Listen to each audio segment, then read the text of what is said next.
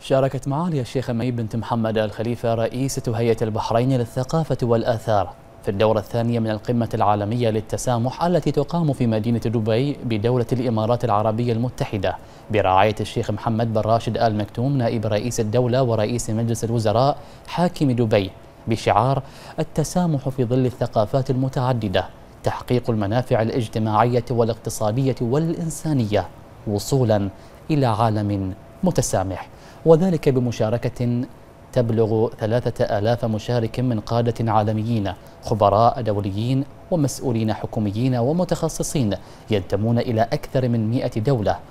وقالت معالي الشيخ مي أن مجتمعاتنا تواجه تحديات كبيرة تشكل تهديدا حقيقيا للهوية والذاكرة الثقافية مؤكدة أهمية حماية التراث الثقافي من أجل بناء مجتمعات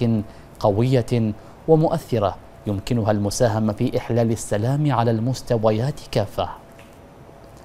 وأوضحت معاليها أن مملكة البحرين قدمت جهودا كبيرة في سبيل حماية المواقع التراثية والحضارية بالتعاون مع كافة المؤسسات الدولية المعنية حيث تستضيف المملكة المركز الإقليمي العربي للتراث العالمي منذ عام 2012 والذي كانت له مساهمات كبيرة في حماية مدن ومواقع هامة في عدد من الدول العربية المتأثرة بالأحداث الراهنة. تأتي مشاركة مركز الملك حمد العالمي للتعايش السلمي في آه، القمة العالمية آه، للتسامح في في دبي من ضمن أنشطة المركز وعلاقاته الخارجية مع المؤسسات الدولية والموقع وتأتي هذه المشاركة من ضمن طبعا آه، معرض قمنا به نظمناه في في هذه في هذه القمة ويتكلم هذا المعرض عن التاريخ الحضاري للبحرين خاصة بما يتعلق ب